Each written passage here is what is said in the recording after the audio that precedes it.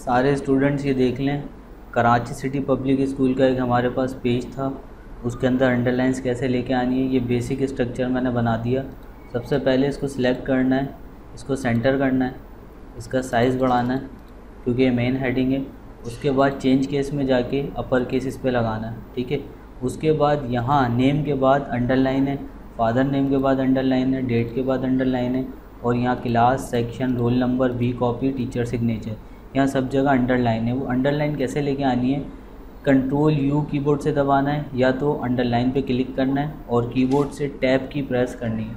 ठीक है, उसके बाद फिर अंडरलाइन हटाना है टैब की प्रेस करनी है या तो स्पेस बार से थोड़ा सा स्पेस देना है। फिर अगेन यहाँ पर आपने आना है अंडरलाइन पे क्लिक करना है टैब दबाना है।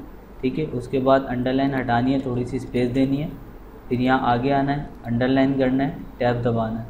अगर आपको लग रहा है ये कम है तो आप इसको ज़्यादा कर लें। ठीक है, उसके बाद यहाँ आना है। अंडरलाइन करना है और टैप टैप दबाना है। फिर उसके बाद अंडरलाइन हटा के स्पेस देनी है थोड़ी सी यहाँ पर आना है। अगेन अंडरलाइन करना है। टैप दबानी है और इस तरह आपने सब जगह जो है वो अंडरलाइन लेके आनी है।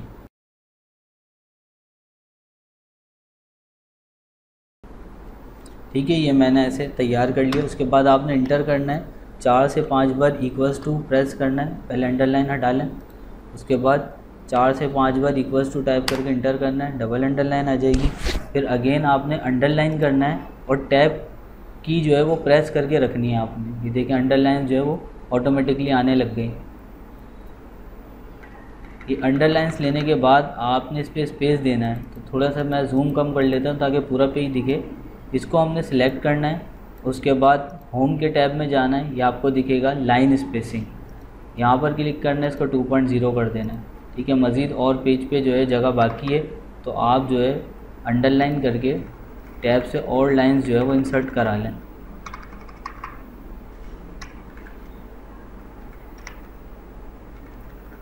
उसके बाद आपने क्या करना है, नीचे डबल क्लिक करना है फूटर एक्टिवेट हो जाएगा। अगर डबल क्लिक से ना आए तो आप इंसर्ट में जाएँ और फुटर पे क्लिक कर दें और पहला वाला ये सिलेक्ट कर लें फुटर आ जाएगा। यहाँ इसको बैग स्पेस करना है और अपना नाम लिखना है क्रिएटेड बाय जो भी है। उसके बाद इसको सिलेक्ट करना है कंट्रोल ए से।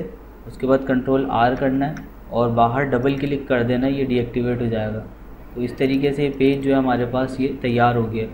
अब आपको इसके मार्जिन बढ़ाने हैं तो आप पेज लेआउट के अंदर जाएँ मार्जिनस में जाएँ कस्टम मार्जिनस में जाएँ और लेफ़्ट और राइट से 0.5 इसको कर दें।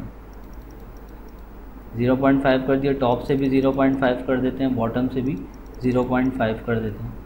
ओके कर देते हैं। आप ये देखें लाइन्स आ गई।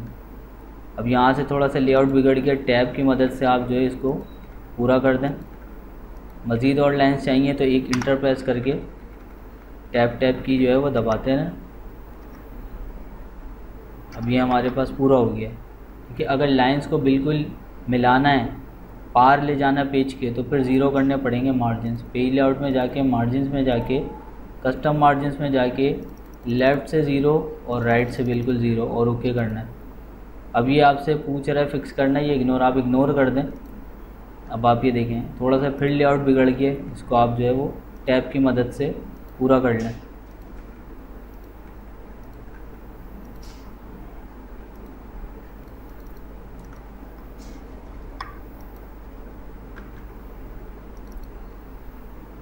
ठीक है, अब यहाँ से भी हम जो है टैब की मदद से पहले हम अंडरलाइन अगर हुई भी होगी तो हटा देंगे। टैब की मदद से इसे हम जो है आगे कर लेंगे। ये पूरी हमारी डॉक्यूमेंट जो है वो तैयार हो चुकी